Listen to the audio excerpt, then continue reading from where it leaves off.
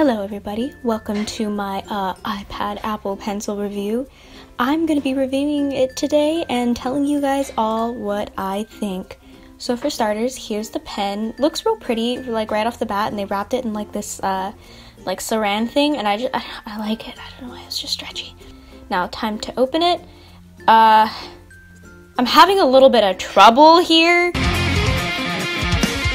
So instead I brought my scissors because my nails aren't long enough and this uh, package is a pain in the ass. It says designed by Apple in California and here is the pencil itself. Very nice, very pretty. So many fucking papers that came with it though. The pencil is nice and sleek and it's got this little thing over it that you pull off and already it looks very nice and it's very nice to hold.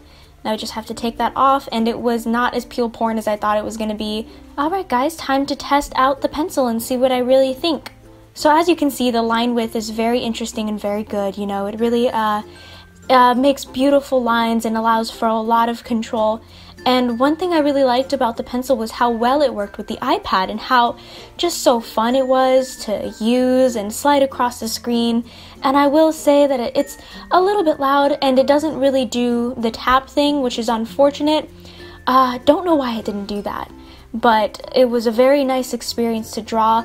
Although it doesn't erase. Why doesn't it erase? Otherwise, it draws very clearly and the lines feel very smooth and very natural. And I just, it was an overall very pleasant experience. There you have it, ladies and gentlemen. This is the review of the iPad Pencil. I hope you guys enjoyed. Thank you guys for watching. Uh, and come back for next week's video.